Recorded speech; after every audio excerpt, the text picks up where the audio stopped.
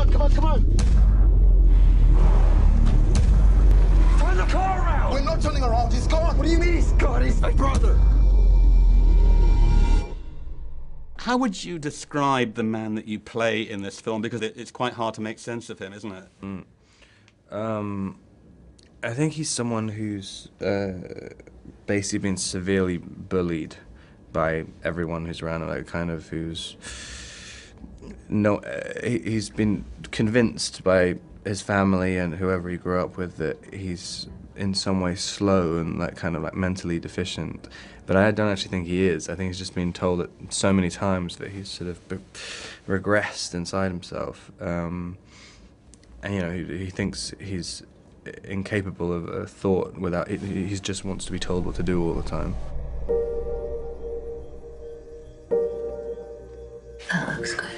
Is this man your friend? Tell me where your brother is. He's going south, a long way from here. I'll take you to him, I promise. In terms of an acting challenge, how did this push you? I mean, is it or is it unlike anything you've ever done before? um yeah yeah i mean just in terms of the physicality and stuff it's uh, but mainly because it was the, the script and and the part as well it, it was so loose about what the character was that you could really you're quite free to do almost anything um and so you kind of i think the one the one scary thing for me was doing too much because you could just overload on you know, weird tics and stuff um but uh but yeah, I thought I thought it was actually one of the easiest characters I've ever played. It was the f- most fun, definitely. You don't learn to fight, your death's gonna come real soon.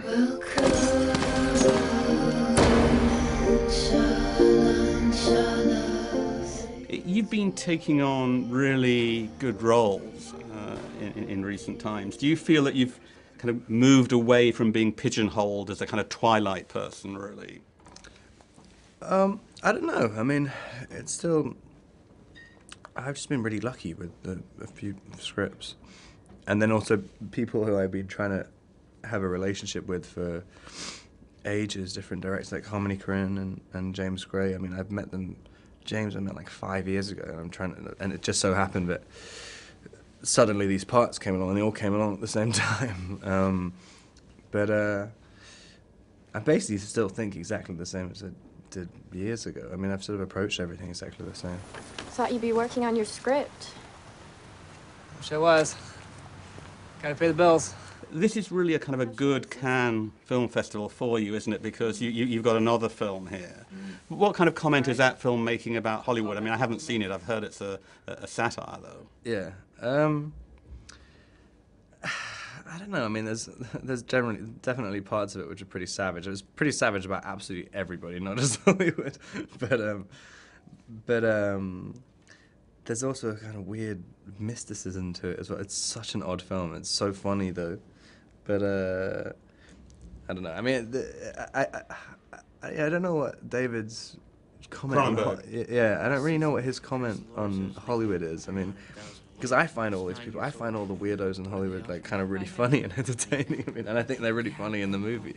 Like no matter how dark they are and self-obsessed. I mean, I think it just shows a lot of how crazy actors are. How do you feel that you move forward as an actor? How, how do you grow? Do you make a conscious effort to look at other actors? Do you listen to what directors tell you? How, how does it work? Yeah, I mean, it's, it's little bits of everything. I mean, you just try and work with, with clever people and and and people who are ambitious and and uh, and you know and, and know how to how to how to do how to work. Um, but it's funny even seeing like you know how like